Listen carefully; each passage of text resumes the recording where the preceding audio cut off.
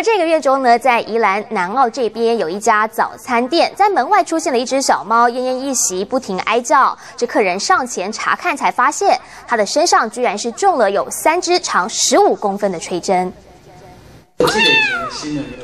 巴掌大的三色花纹小猫，小口小口吃着饲料，表情无辜，活动力超级旺盛。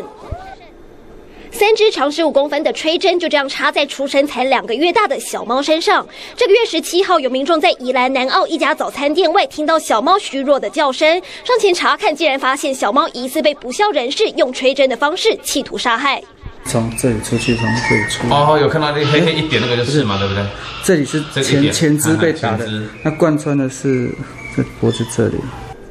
幸好垂直没有伤及脑部或脏器，经过兽医仔细消毒清创伤口，施打抗生素后，目前小猫恢复良好，进食正常。这个会有违反动物保护法的，呃的规定哈。那最高如果因为这样子，这只动物因为你这个动作死亡的话，最高有可能会被处处罚，所以处以一年以下的有期徒刑。由于吹针取得容易，动物团体担心类似事件再次上演，呼吁民众别以身试法，伤害可爱无辜的毛小孩。记者林晨、蔡信芳、宜兰采访报道。